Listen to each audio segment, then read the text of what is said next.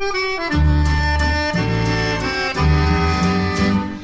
begynte i skolen da vi gjorde lekser. Vi strevet og slet og fikk mange komplekser.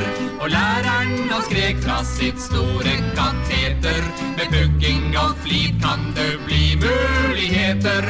I morgen er også en dag, var vårt svar. Vi pugger i morgen. Den saken er klar.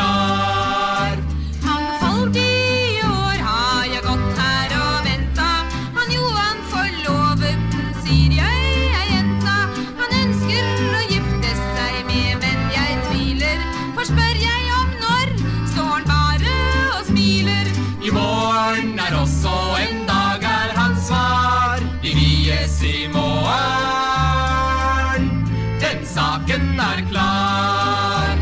Jeg tenkte at jeg skulle snyte på skatten.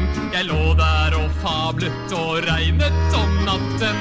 Men kemneren er kjent for å suge og hale. Det blir kroner tusen kontant å betale. I morgen er også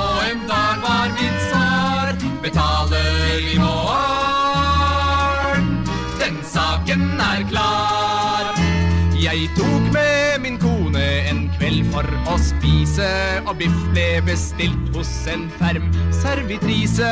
Vi ventet en time, det var da som bare. Hvor blir det av biffen?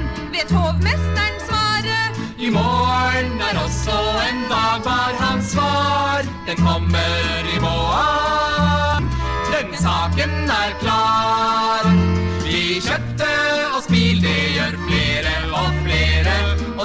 Kom problemet, hvor kan man parkere? Vi gikk fra vår Opel ved Kafé Justisen. Da vi kom tilbake, så sto der polisen. I morgen er også en dag, var vårt svar. Vi betaler. Nei, selvfølgelig skal vi betale boten med en gang, herr konstabel. Den saken er klar.